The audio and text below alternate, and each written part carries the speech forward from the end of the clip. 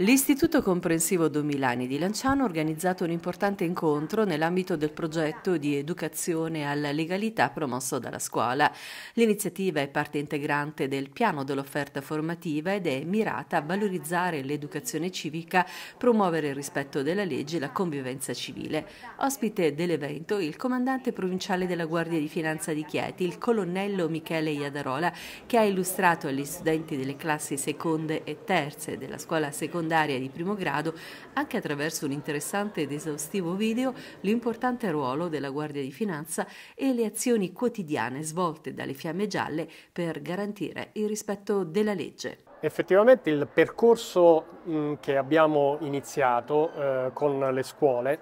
non è un percorso voluto solo dalle scuole, ma è anche la Guardia di Finanza che eh, proprio quest'anno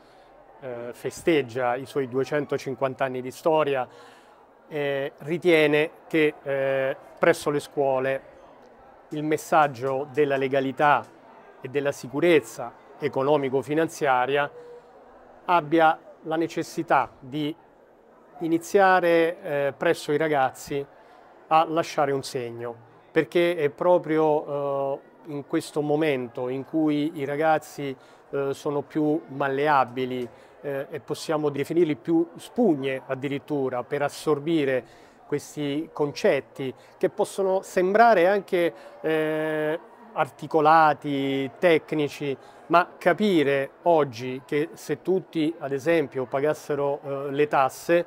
i servizi eh, sarebbero, i servizi pubblici sarebbero più efficienti. Eh, così come se tutti pagassero le tasse, lo Stato non avrebbe l'esigenza di modificarne periodicamente eh, la richiesta di prelievi aggiuntivi, perché ovviamente ci sono dei servizi pubblici che devono essere necessariamente assicurati. E questi incontri che stiamo facendo presso le scuole vogliono proprio eh, istruire i ragazzi, partendo proprio dall'articolo 53 della Costituzione, dove eh, viene manifestata eh, la eh, volontà di uno Stato sano come il nostro e come hanno voluto i, i padri fondatori eh, della Costituzione,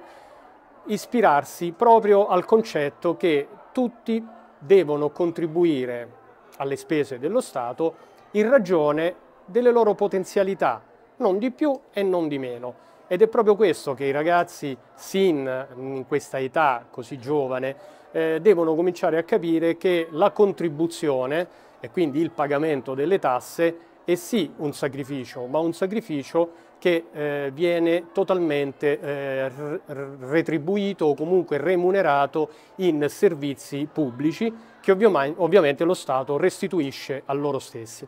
La dirigente scolastica Barbara Gaspari ha ringraziato il colonnello Iadarola per il suo intervento e per l'impegno costante della Guardia di Finanza sul territorio. Ha sottolineato come questo impegno sia cruciale per garantire la sicurezza e prevenire e reprimere fenomeni di illegalità. La preside ha rimarcato l'importanza di dare vita a scuola a questi momenti di sensibilizzazione. Il progetto rappresenta un tassello cruciale per la formazione dei giovani, evidenziando il valore dell'educazione alla legalità,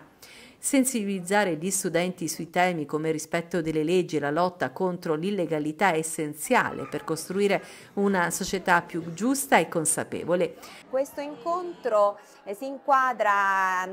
dentro un percorso di educazione civica che abbiamo progettato e pianificato da quest'anno eh, proprio incentrato sull'educazione alla legalità quindi i ragazzi hanno fatto diversi incontri anche con i carabinieri, hanno partecipato al concorso della Polizia di Stato vincendo anche eh, due primi premi sulla scuola primaria e la scuola secondaria e oggi eh, finalmente concludiamo questo eh, ciclo di interventi con il comandante provinciale della Guardia di Finanza. Per noi un'occasione importantissima eh, per eh, un'opportunità grande per dare eh, appunto ehm,